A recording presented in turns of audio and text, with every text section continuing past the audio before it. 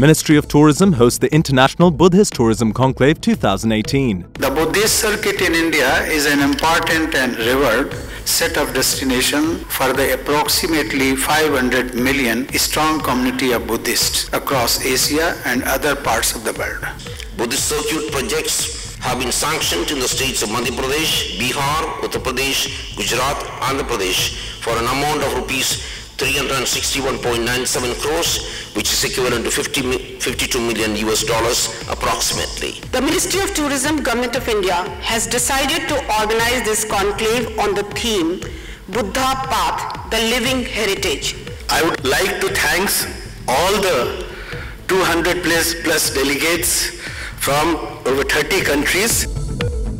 Taj Group organizes its annual sales mission. Last year we had 38 hotels. This year we have 52 hotels. This year we are we are relaunching the Taj Connemara in Chennai, a new hotel in Udaipur, Taj Aravali, and a new hotel in Rishikesh.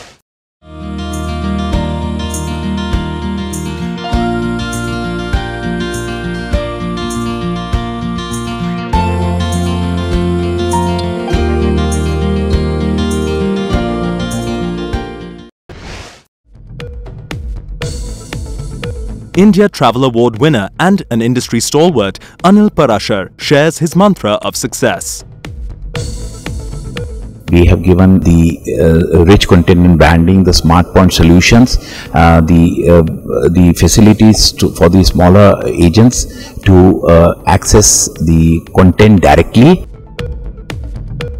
We are focused on uh, bringing solutions like corporate booking solutions, cell booking tools to access uh, not only the content which is available on various GDSs, but also take facility to take advantage of things like the GST, the ever-changing uh, environment.